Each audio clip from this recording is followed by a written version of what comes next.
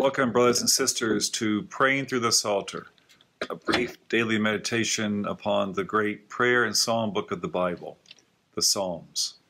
Today we turn to Psalm 34 on this, our 34th devotional. As we do so, we approach the Psalms with three key interpretations. One, the Psalms are given by God to us that we might make them our own and pray them back to Him. Secondly, the Psalms teach us how to pray. And thirdly, every psalm points us to Jesus Christ. I believe we find all of that today as we turn to this Psalm 34. If you'll look with me in your Bibles at Psalm 34, you will find a, a particular inscription that instructs us about the context of, of how it was that David came to pray this prayer.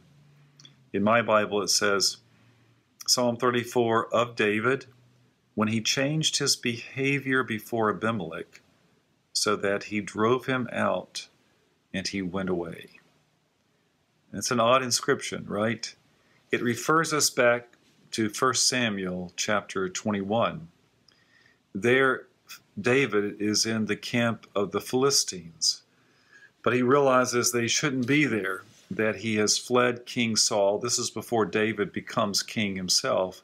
So after fleeing King Saul, there's a lot of history here and backstory.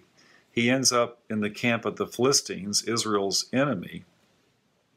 But the Lord has put in his heart that that's not where God wants him to be. And so, in this very strange, unusual story in 1 Samuel 21, verses 10 through 15, David then um, pretends that he has lost his mind. He acts like a madman in front of the Philistines.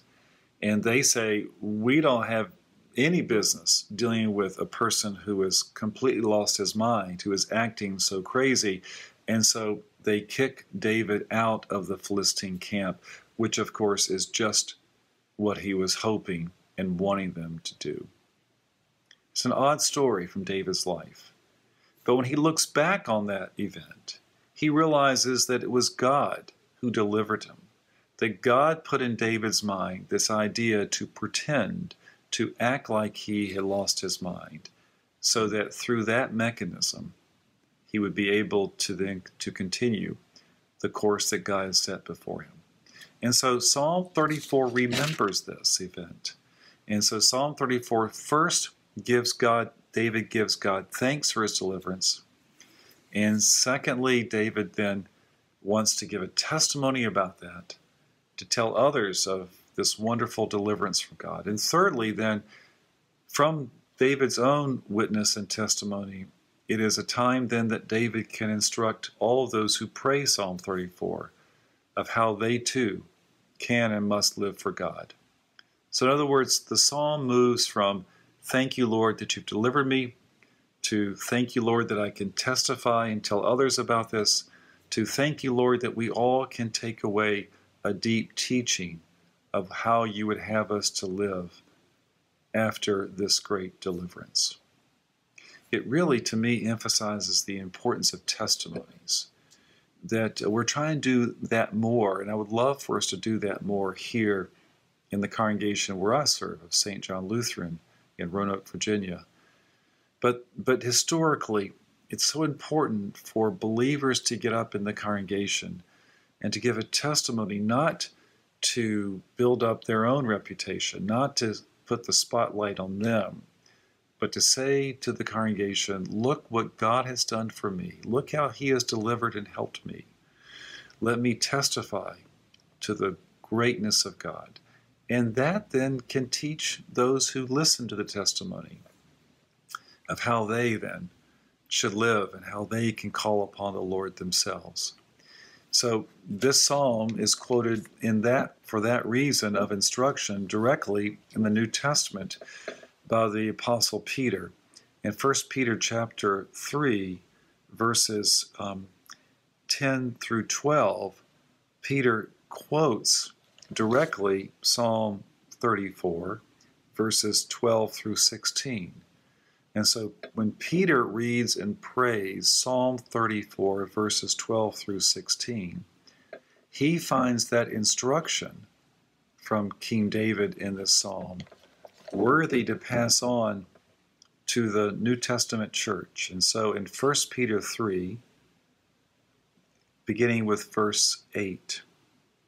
Finally, all of you have unity of mind, sympathy, brotherly love, a tender heart, a humble mind. Do not repay evil for evil or reviling for reviling, but on the contrary, bless, for to you this you were called, that you may obtain a blessing. For, and here's the quote from Psalm 34 Whoever desires to love life and see good days, let him keep his tongue from evil and his lips from speaking dissent, deceit. Let him turn away from evil and do good. Let him seek peace and pursue it. For the eyes of the Lord are on the righteous, and his ears are open to their prayer. But the face of the Lord is against those who do evil. What is your testimony today? what might be a testimony of God's deliverance of you from, from a time of evil or, or, or, or suffering or illness? A deliverance, your salvation. What is a testimony that the Lord is asking you to give in the assembly of the believers soon and very soon? Until we meet again, may the Lord bless you and keep you. May the Lord's face shine upon you, be gracious to you. The Lord's countenance be lifted upon you and give you peace. Amen.